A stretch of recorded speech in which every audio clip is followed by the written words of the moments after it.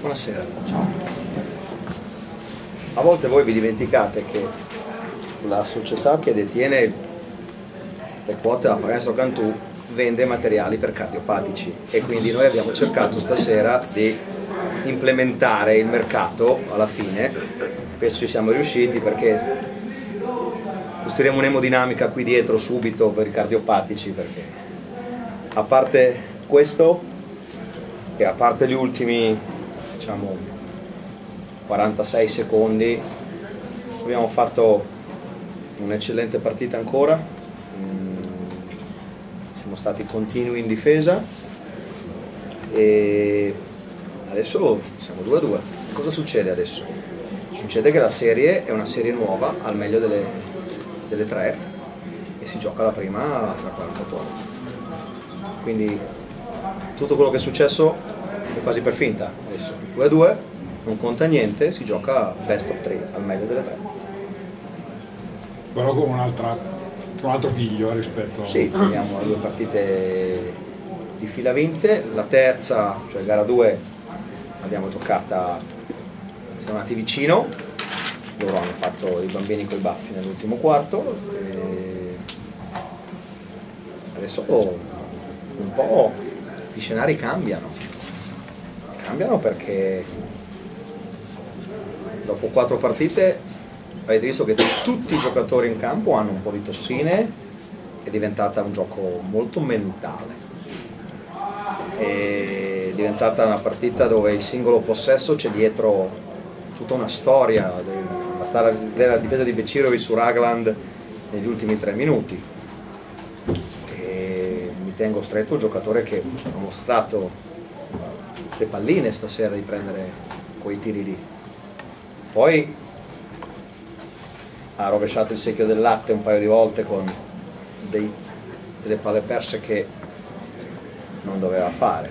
Però signori bisogna essere capaci. Magari riusciamo a insegnargli a non fare quelle palle perse però insegnargli a mettere quei canestri io non sono in grado di insegnarlo a nessuno questa è una cosa è stata una partita a primo tempo dove abbiamo preso in modo eccellente eccellente perché loro sono io attacco del campionato e non hanno prodotto tanto. Poi siamo ancora veramente un po' piccioni sui falli nel bonus perché loro sono rientrati alla fine con sei tiri liberi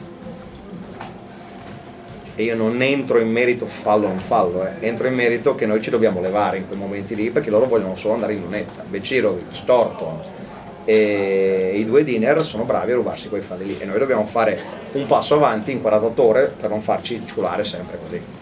Ci il fatto che non hai chiamato time out alla fine? Guarda, questo mh, mm, ti dico, quando tu devi rimettere la palla contro il pressing, chiamare time out negli ultimi due minuti ti raccorcia il campo. Eh. A me bastava, bastava metterla in campo e giocare su un campo di 28 metri, ci sono di 14, su questo ho, ho, fatto dei simposi, secondo me non è tanto conveniente accorciare il campo. Eh. Se voi vi ricordate con Siena in casa due anni fa, noi recuperiamo l'ultimo palo per far pareggiare Marco Sfidi dall'angolo a tre punti in campionato. Eh? No, no, no, due anni fa, due anni fa. Loro chiamano time out e hanno meno campo per fare la rimessa perché loro hanno alzato moltissimo la pressione difensiva, sono molto furbi, loro sanno come mettersi eh, in posizione per negare. Secondo me è più facile mettere in campo la palla e non ci siamo riusciti, quindi forse la mia teoria è da rivedere, ma non sono tanto convinto, su 28 metri che su 14. No, sulla teoria non metto in discussione se è un maestro, sì. nella pratica c'era un gran casino. C'era un gran casino perché Joe era stanco e non si è smarcato. Eh, l'errore che ho fatto è non mettere in campo Mazzarino che sarebbe stato un target molto più chiaro per Marti perché sono 20 anni che gliela diamo a lui quando c'è bonus. Quindi e questo è stato il mio errore. Non richiamerei time out comunque, però c'è stato un po' di così, metodo champenoise. Un po' sentimentale un po'. Sì, pensavamo che fosse finita, grave errore. Però è meglio andare a Sassari con una vittoria strappata coi denti che una vittoria netta per il semplice fatto che le storie delle- dei playoff sono molto semplici.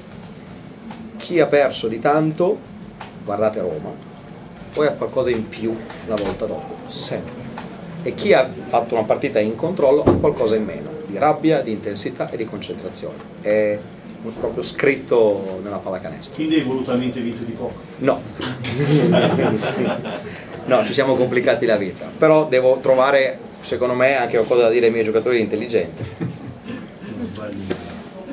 Era tante partite che non conducevate per così tanto tempo in controllo. Guarda, se noi riuscissimo a fare 5 palle perse in meno, che sono lo spread, parola che piace tantissimo, Più passi. eh? passi, delle palle perse proprio non forzate, eh, le due in contropiede di Joe, tienti la palla, mettila nel- nelle mutande, tienti la palla, tanto siamo avanti. E quelle secondo me sono proprio la bilancia emotiva della partita. Loro su una palla persa ti puniscono sempre con tiro a tre punti. E poi, questo ve lo spiegherò domani in allenamento, sul penultimo possesso lascia segnare Diner da sotto, due punti, invece di andare a ruotare su Diner e prendere una bomba, non mi ricordo da Gordon o non mi ricordo, perché tre punti fanno tutta la differenza del mondo invece che due, e lì siamo ancora un po' bimbi.